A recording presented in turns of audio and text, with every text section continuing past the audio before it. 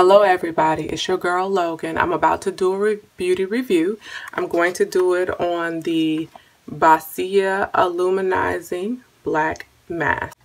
There we go. The Boscia Illuminizing Black Mask. Alright, let's get started. I've never done a mask before. I saw on plenty of websites how they basically hurt like hell. So let's see um,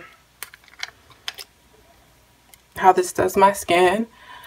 So I don't have anything on my skin. I just washed my face. I have a couple of whiteheads. So it's supposed to illum illuminate your skin and also it's supposed to get rid of all the whiteheads, blackheads, and um, from I, I bought it at Sephora. So the Sephora rep told me it's also supposed to um, get rid of the little baby hairs. So I'm going to put this on my lip as well. Get my camera so we can take a photo. Baby, when we make love is right I don't know what your man is like But shawty, all I wanna know is Sexy can I, sexy can I Visit you at work when Hey everybody, it's your girl Logan. I'm back. So in truth, it has been an hour since I put the mask on. I'm kind of afraid to take it off. Like I said, I've never tried a mask before. So I'm gonna do it. First I gotta find a place to start. You're supposed to start from the top of your face or the top of the mask because if you start from the bottom it said that it'll irritate your skin.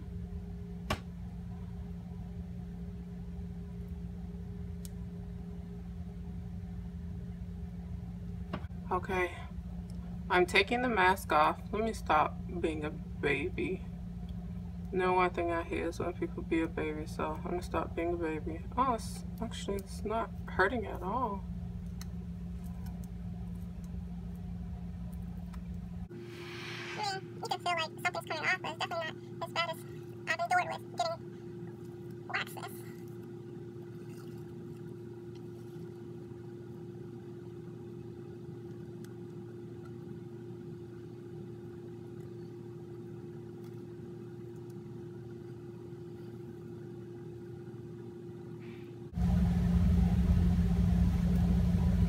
All right, I have the mask completely off. Let's see, let me look first. Yeah, I don't see anything in the mask too much at all. It's like hoping to completely get all those whiteheads out of my nose. Nope. Let me see if I I can see any whiteheads in my nose. Yep.